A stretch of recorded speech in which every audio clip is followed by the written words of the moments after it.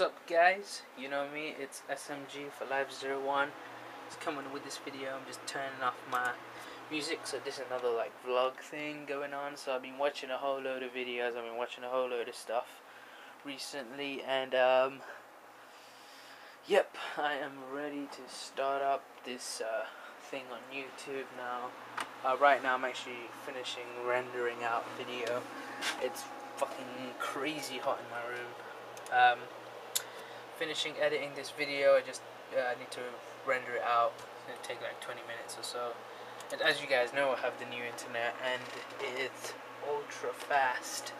So you guys are seeing this video a bit late compared to when I'm showing you it because I have a whole load of videos to edit and then there's like a whole another vlog coming on.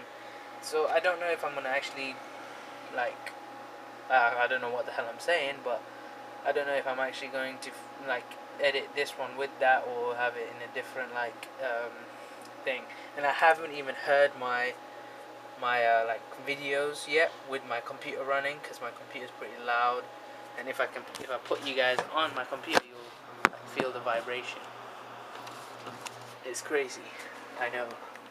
But um, yeah, I've been watching a whole load of videos on YouTube lately, and um, thinking about is is a whole lot. I'm trying to come up with new ideas to gain new viewers. Let's put it that way.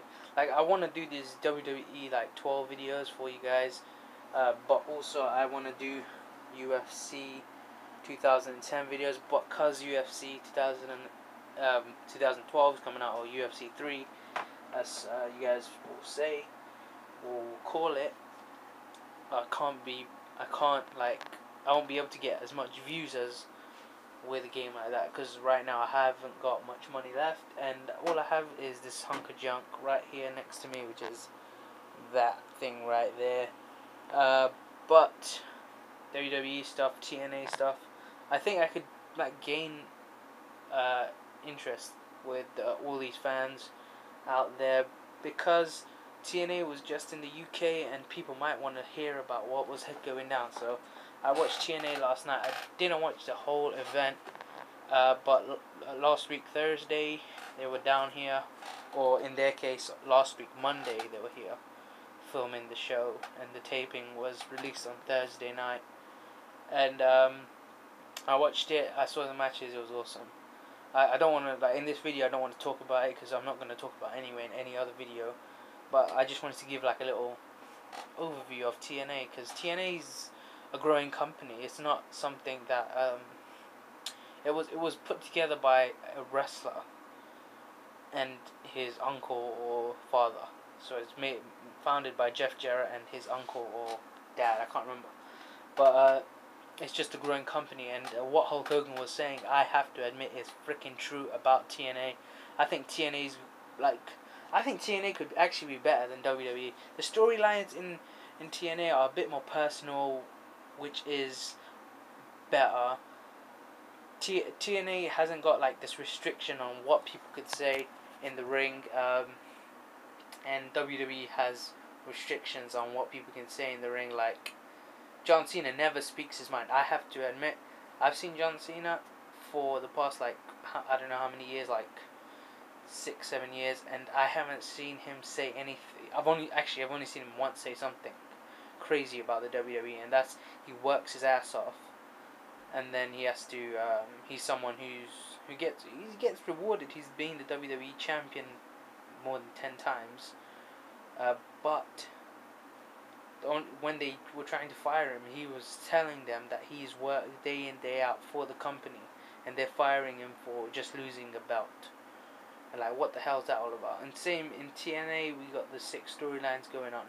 You got the storyline between um, James Storm and Robbie Roode, and uh, now you have James Storm, Robert Roode, Jeff Hardy, and Bully Ray, who is Bubba Ray, if you guys don't know. Bubba Ray, yeah, Bubba Ray Dudley. That's it. Can't remember. Um, but that whole four is going to be a four-way match uh, against all odds. I have against all odds on my computer. I can't wait to watch that. And it's going to be awesome. TNA's future, I can see it another like couple of months, another couple of years. they're gonna be hitting the big times. With like companies like WWE, they're starting their own network. They're still hitting the big times. They are the top wrestling company or wrestling industry. No, well, wrestling company in on TV right now because you don't see fucking English wrestlers wrestling on TV. I don't think so. Hell to the hell no, you don't see that shit. I've seen it once, but that was from like 1970s and stuff like that. So that is out of, that's out of business. You know what I mean? But when it comes down to it, TNA's rising, getting all these new stars. I also I'm also hearing that uh, the WWE's trying to get RVD from TNA. Or once RVD's contract's finished, RVD it's gonna be like a couple of months. Then RVD's gonna go to WWE. I don't think so. Fuck WWE for that. I think RVD's done. It's not that he's done a whole lot better in TNA. It's, he's a better character for TNA. Look at his entrance music. If he had entrance music like that in WWE, he wouldn't be allowed in WWE. The whole effing show. What the hell? He is the whole effing show. But because of this, um, because of WWE, loads of kids watching and stuff like that, the kids are gonna learn how to swear in the future anyway. Why not teach them now?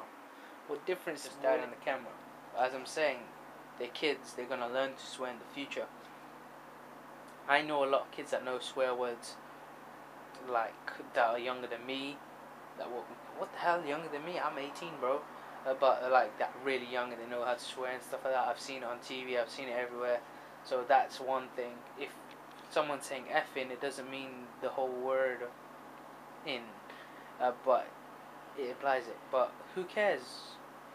It's it's WWE. They swear. They say bitch and whore and stuff like that all over the place.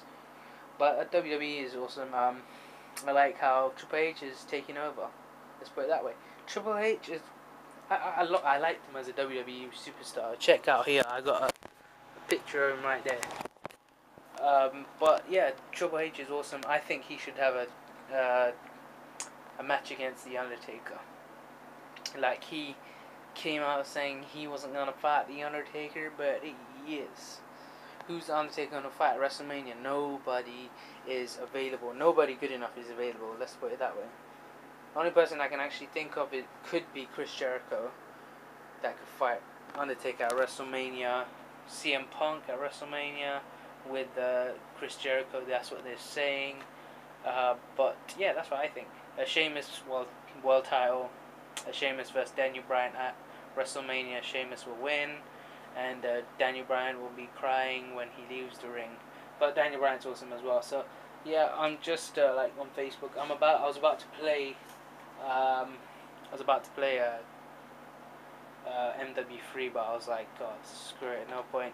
Uh, so I have BT broadband right now, which is Infinity, and uh, I have uh, 40 up to 40 meg download and whatever upload. And I'm downloading right now the whole Friend series. So I've I've got up to 0.5 percent, and it says five days or six days now left. Um, so as I know, they cap the internet, the speed that it downloads at at certain times. So at 4 p.m. it caps from until midnight. So after midnight it'll go normal, so I'll leave it on there. But at that time I can still do everything I normally do. I can upload as well. My internet speed will not drop. So this is this is a good thing. It's a good thing, not a bad thing. I don't care if that I can't download because that direct downloading now is going to shit because of all the crappy websites coming up because all the good websites got fucked and uh, the only good website left is FileServe and deposit files and that's about it so hey what's up guys you know me it's SMG for Life Zero One. just coming with this video so um, as you guys probably know from my video that I put up recently um, I've been having a few problems with this new PC you can see. Um, yeah I've got I've got everything. I've got all the fans and everything. It looks cool. But the thing is it keeps freezing when I have the RAM in uh, slots 1 and 2 which is dual channel which um, I should be in because uh, that's in the motherboard manual it says uh, to have to have the RAM in that those two slots for the best performance but um, I'm getting emails from the company I bought the motherboard and the RAM from and uh, and the CPU from and the first email I got back was to check if the mother the motherboard has any bent pins on this or in the CPU or whatever, like in the CPU slot. I ain't doing that because there's no point me taking it out and then I can't put it back in because I don't have any heat thermal heat heat sink spreader or whatever it's called. They're telling me to take off the heat sink and uh, to take out the CPU, which I do not want to do whatsoever, and to uh, to check if there's any bent pins. Uh, it's highly unlikely that happens because I'm using LGA sockets, so the middle bit of the actual um, motherboard, there isn't any pins in the middle, and the, the pins are just spread out around. I think computers, if they're able to do this like little chip thing, they should be able to make where the actual CPU goes in. They should actually be able to make it so there's no pins or anything like that. Because uh, the only people that are using pins right now are um, AMD, and I think AMD PCs are, are off the chain. Most of the people that use AMD PCs are mainly gamers anyway, so I could I should have ended up buying a AMD uh, CPU and stuff like that. I think it would have been a lot more easier because that was actually my plan for the first thing. But then my friends like, oh, you should go for Intel and all this stuff, and now this shit is happening, and uh, they're telling me that uh, the RAM might be the problem, which I was already thinking. But then uh, after that, I'm thinking that the motherboard, there's something wrong with the motherboard, uh, which I really would hate if there was because I have to take out everything all the cables, all the wiring, and then all the like my graphics card. I've take out all the RAM. I've take out the CPU. CPU. If I take it out, what am I gonna do with it? Like I don't know where to put it. I have no. Like I haven't got much a place to put it in my room because it says keep it out of the sunlight. Uh, put it in a container, and uh, I'm like, what the hell? And, and people have like little cases for it, like this big, and you, your CPU just drops in. And I think I threw away the uh, CPU packing that it comes in. So, because I was thinking of just putting it back in there, but I don't have it. So, um, right now I'm actually just waiting for emails for from the company, and the company that I bought it from was Scan. And if they're um, like, uh, oh, the first email that I got was, it says, uh, please note the memory controller is not on the motherboard, it's on the CPU. Please confirm you have first populated both white slots. And then have another two sticks then populate the two blue slots. Right now I have right now I do have um, two in the blue slots which is three and four slots. The, the slot is number three and number four. And then um, there's uh, it says also check the CPU socket on the motherboard for any bent pins please reply directly to this email blah blah blah so that was the first email I got. And let me just go to the next one. Uh. And then here is the next one. It says, have you tested the memory in slots 1 and 3? Done that. I actually haven't done that. Or 2 and 4. It says, as the memory purchase is dual channel memory and therefore needs to be run in dual channel mode. Also, Intel recommend you recommend the memory is rec also Intel recommend you run the memory in in slots 2 and 4 for best performance if you if you run the memory in dual channel mode and it's still not stable I can only suggest the memory is faulty so if it's a memory I'm fine with that if it's a motherboard I'm, I'm, I'm screwed because uh, I don't want to take it apart and stuff like that. And then the next one I got was to confirm you are running. To confirm, are you running the memory in the two white slots, which I am not. I'm running it in the two blue slots because whenever I run it in the two white slots, a day after or something would it would freeze. And uh, what I was, how I tested this out was yesterday um, I left it on. The day before that, it was on in the same one and two slots, uh, the two white slots, should I say. And uh, it didn't freeze. It actually lasted almost two days. But then I think during the night, because I left it on, because I was downloading Friends, uh, the, the whole series because of my wicked internet. It works in the night, so that's alright. But um, it probably froze during the night after watching like I was watching WWE and uh, I was trying to watch uh, Moneyball and I fell asleep. So by trying to watch all that stuff, um, after just when I woke up this morning, because I use uh, uh, this app on my phone, I can tell if my computer's on or not. Uh, it's called Unified Remote. It's uh, one of the apps that I use uh, to control my computer from my phone. And uh, uh, when I logged onto that, um, it said uh, no connection like found sort of thing for this computer. So I was like, oh, it must have froze again. So I came. Uh, it was like seven o'clock in the morning. So I came up. I looked, and then I was like, I, I checked, and then it was off. Everything was like, like it was just frozen, but it was still running. Everything was running, and um, then I just switched it off, took the RAM out, swapped it around, and now I'm doing the same thing, but in the uh, three and four slot uh, with the RAM, and I know it's gonna work for how, however long. If it crashes, then I'll just, uh, uh which is highly unlikely, it's gonna crash because um, I've tested it for three days and it was running perfectly. Like this is just making me waste a whole load of electricity just testing this computer because I'm using a 650 watt power supply, is using 650 watt just blowing out all to all the components and all that stuff. So if you guys have any have any ideas, if you've had problems like this uh, with your computer, let me know. My motherboard is a Gigabyte GAPH67DS3 B3 motherboard. I'm running a GTX, I mean not a GTX, AMD uh, Sapphire Radeon 6870. Um, I got a uh, Core i5 2400 CPU. I got 8 gigs of XMS3 Corsair RAM.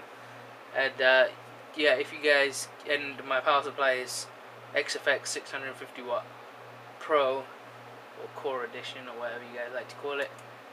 Um, yeah, so if you guys know anything about that, uh, oh yeah, also my hard drive is a Seagate Barracuda, I don't know the whole name, and I got LG DVD rewriter. That's that's the only things you guys need to know really. But uh, if you guys know, please let me know in the comments below of what could be causing this, because I have no idea what could be causing this. Um, I think it's the motherboard. Like that's my strong feeling is the motherboard, but I want it to be the RAM because I don't want to be able to. I don't want to have to take out everything just to just to screw around with all the parts and stuff. So, um, yeah, I'll see you guys in the next video. Uh, I hope you guys enjoyed it, uh, even though I'm pissed off because I need to find out what's wrong with my computer. Um, even though if, if anything happens and I have to send stuff back, I got this other computer next to me over here that I can use for editing and plus uploading uh, wirelessly. So, but yeah, I hope you guys enjoyed this. Um, see you guys. What's up guys? You know me, it's SMG for Life 01. Just coming in with this quick little video. So as you know, my computer's been messing with me for the past, like, since I made it. Um, so there is my computer, and I'm just shutting down Windows because I'm about to do something with the computer. So I'm going to open it up for you guys and show you the interior of my PC. You've seen the exterior, you've seen the interior from the the side panel but uh, I'm, I'm changing the RAM right now on it so um, I'm going to change the RAM and I'll come back to you guys and I'll show you the inside of my computer and all the cabling and stuff like that. Even though um, there is a whole load of bunch of cables just like wedged in there.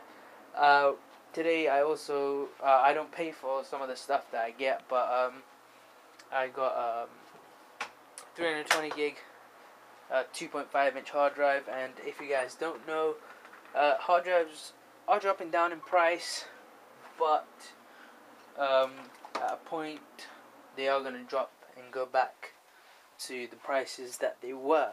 So I got a 320 gig hard drive for about 44 pound, which was a 2.5 inch hard drive, which is going to be in a laptop that I have. Um, I'm not going to use this laptop. Uh, my dad will use it, but I'm gonna put Windows 7 on it, and uh, yeah, it should be good.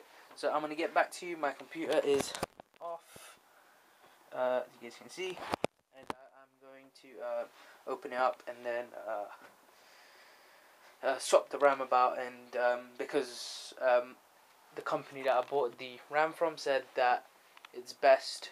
You, Intel says to um, put the RAM into slots two and four to gain the best performance. So that's what I'm gonna do, and I'm gonna see what happens. See if there's any difference to it. Uh, and yeah, I'll see you guys in a second. Back with me. Um, yep. So um, my computer I just I just swapped around the RAM. Uh, so hopefully it works and without freezing or anything. Uh, because right where I had it before, it was fine dual channel mode as well. So check it out. Here is my system. So that is my uh, Radeon 6870 as you can see, there's blue cables, my uh, SATA um, hard drive, and uh, like the cables. What I basically did was like push them to the side here. If you can see, I pushed them down, and then routed like the motherboard cable up, but then brought every other cable around it. Like that's the only cable that's going across the motherboard, and that's the uh, e uh, not EPS, the um, CPU power cable. And uh, like I have a fan here which the cable is just uh, running around and across the back of the RAM and everything. Uh, these two cables I was uh, going to end up just just putting it like that. And just have it hanging sort of thing. But just it's all like all just put put uh, together and stuff like that. so I wasn't really bothered. Uh, here's my 650 watt power supply. Here's the bundle of cables that I I tried to hide, but like to hide them, there's not much of a point because we have this fan here blowing air onto the hard drive. Obviously, the hard drive doesn't get hot really, uh, but um, my graphics card doesn't get hot either. I haven't felt it get hot anyway. Uh, but I was thinking of getting um, a new like um, some more kind of fans for it but there's no point with these two fans at the top because it's just blowing a load of air out of the case. And uh, yeah what I'm running down here is a Core i5 2400 you guys all know that because I've talked about in another video. Um, there is a my gig gigabyte board. I don't want to like dribble onto my computer because I dribble quite a lot and that's why I'm not leaning over as I would if I was showing you it. It's a GDA PH67 uh, DS3 B3 motherboard. It's Rev 1.0. Like now, um, and uh, oh yeah, obviously the DVD drive LG, uh, my favorite kind. Uh, all these fans have in there, I'm gonna be doing. I, have done a video and that should be up as soon as possible but they were black fans and there is the side panel with the fan there. Um, and we have the single uh, clear fan there they're all Cooler Master fans. And uh, here you have the screw thingies. I can't remember what they're called. They're the drive bay connectors. They can like um, you just slide in a hard drive and then screw it in. And you have the uh, locks for the uh, DVD drives and optical drives. So now what I'm going to do is put it back. Uh, this actually looks very nice together like that. It's just hard to get it out. You can see down here, uh, if I move that, if you can see, uh, the pins are hard to get. I keep scraping my hand, and uh, I think I pulled a bit of my nail off trying to uh, get that. Um, my this finger was hurting a lot, my index finger. So I'm just going to test out my PC now because I feel that this slot there's something wrong with it. The one, the number, number two slot. Um, I feel that there might be something wrong with it. I don't know. But if there is, then I'm screwed because I have to send back the motherboard, and I don't want to do that. But um, yep, I'm gonna uh, turn the computer back on, and I'm gonna go on CPU-Z and check out everything. I'll obviously put that on um, with camera. So I'll see you guys in a second again. So my face is a bit blue. Uh, so my PC's on. I'm just gonna check the PC's health. So uh, it doesn't say anything bad about it. It's got um, it's a system fan too. I'm not running no fans on this via motherboard. Uh, you got all these uh, the CPU fan control, manual, silent. Uh, really on normal, I can't really hear anyway. So it's just the PC health, and then I'm gonna just go to the uh, where is it? Advanced BIOS. No, like really half of this stuff I don't know what the hell it is. Uh, there's advanced memory settings, and that's where I will be. And I'm just going to change that to turbo. Uh, channel A and B timings and stuff like. I ain't messing with that stuff. Like I have no idea. So I'm just going to save it and boot my computer. So let that boot. It should be on soon. I'll go on CPU Z and see what happens. Hopefully it can last me a day. Let's put it that way. Posting right now, loading the OS. The OS. Um, really, I really don't want to send anything back. I, I feel that I'm running I'm running something in two slots, and it's it's working perfectly. The only reason why I was thinking, oh, I should send it back was because, oh, if I get another eight gigs of RAM, with, uh, that's like two four gigs. If I put them in, would they work or would they not work? Like, so it, uh, that's what I'm gonna have to test out. I'm gonna have to get another two four gigs of RAM, place them in the slots. Have all four slots uh, taken up and uh, I'll try it out and see what happens. But um, right now no monies. Spent all the money on this thing uh, buying fans and crap for this uh, buying the DVD drive and fans. Uh, so really uh, what is is this computer is just going to be a beast once it's like if this works with it then it's just like I'm not sending anything back. I have to do my work on it this is my computer for like college and stuff like that so and uh, hopefully I'll be making another computer. As you guys will know from my other video I've said it as well that I was thinking of doing something like building an AMD PC but one of my other friends who was in my vlog video he wants to build a computer since playing Battlefield in here. After that he was like oh I want to build a computer man. And uh, he was um, really impressed by what a PC could actually do like with a Mac, you could do everything that a PC can. It has a special OS and all that stuff, all that good stuff, should I say? And um, Mac, I could, I would get, but I wouldn't buy an, a very expensive one. I'd buy a MacBook Pro or something like that if I had the money, which I don't. That's that's what I would get because personally, um, it's something I could use as for like editing and stuff, even though I don't use it to edit. So um, right now I'm actually on CPU Z and I'm just checking out the main board. It has all that junk on it. Okay so it's saying DDR3 but then it says the channel's single. The retard guy on scan he was like oh use this too it'll be dual. So single if it works fine then I'm cool with that. So we got the 4 gigs got the 4 gigs.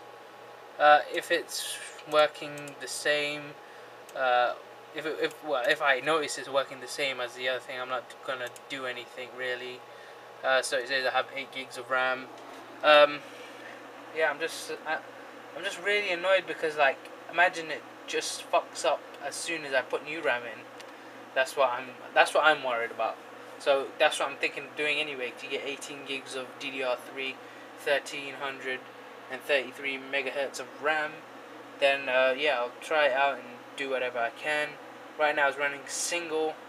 Uh, but um, yeah, I hope you guys enjoyed this little thing you got to see inside my computer and stuff.